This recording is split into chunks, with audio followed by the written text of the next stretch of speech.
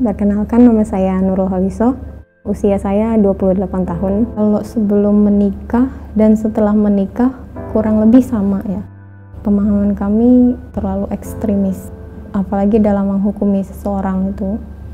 Karena kami satu kelompok pengajian itu, taklim itu, doktrin-doktrin yang kami dapat itu bisa dibilang menyesatkan ya. Karena kan mengajarkan yang tidak sesuai gitu ya seperti menghukumi seseorang itu dengan sangat mudahnya gitu.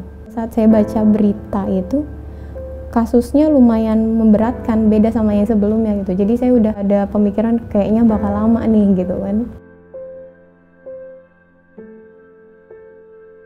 Pada saat itu saya di titik yang sangat down sekali ya. Apalagi dalam keadaan kondisi hamil, um, anak yang pertama juga masih sangat kecil kan?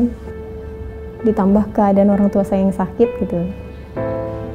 Jadi saya berpikir saya nggak boleh terlihat rapuh di depan mereka meskipun keadaan saya memang menyedihkan gitu. Pada saat itu untuk menyambung hidup jadi saya jual kayak herbal atau pakaian-pakaian gitu yang bisa untuk uh, menjadi nopang hidup saya. Istilahnya dulu kan beliau setelah dari high kris terus banyak diskusi sama beberapa ustadz akhirnya terbuka pikirannya gitu. Udah lebih fresh lah gitu kan pikirannya gitu.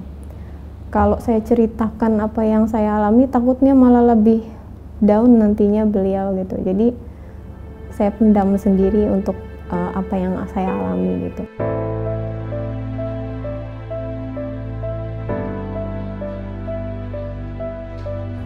Ada salah satu temannya itu yang ngomong ke dia gitu. Abi kamu di penjara ya gitu. Ya namanya anak kecil ya itu kan. Jadi sempat sedih juga gitu. Ada yang bilang seperti itu dan dia ngadu ke saya.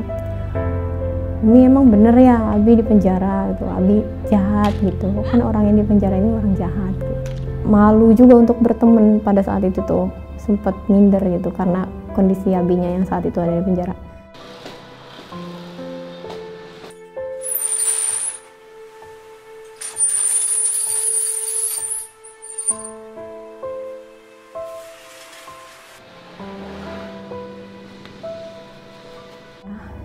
lebih deket lagi aja sih sama keluarga karena pada akhirnya keluarga yang bisa menolong saya, yang mensupport saya gitu kan.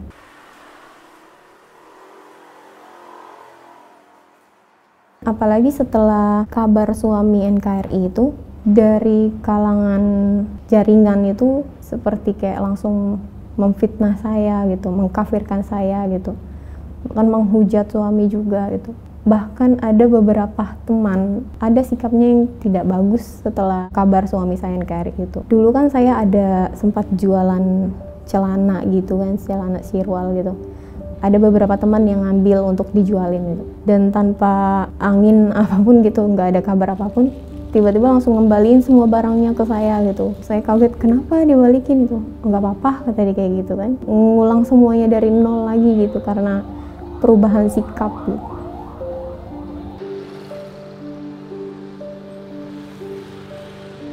kita punya membuka usaha toko plastik. Alhamdulillah setelah beberapa bulan beliau diamanahkan untuk mengelola sebuah yayasan yaitu Yayasan The Bintal karena kita baru usaha juga kan gitu. Ya udah jadi ya bismillah saya yang bantuin. Jadi selama ini kegiatan saya selain ibu rumah tangga ya juga usaha.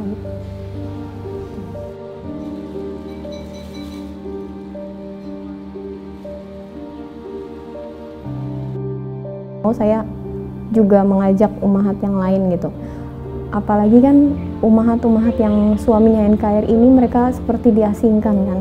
Pada saat itu buat grup WA untuk istri-istri yang suaminya NKRI jadi sharing gitu kan jadi lebih menguatkan satu sama lain gitu. Apalagi untuk kami-kami ini yang udah keluar dan mereka yang masih suaminya di dalam itu jadi penguat juga gitu. Kalau ancaman ya paling itu tadi saya bilang kekuatan medsos ya. Jadi ngancamnya itu sebatas masih di medsos, tapi dampak yang diterima sama umahat itu ya lumayan besar gitu kan.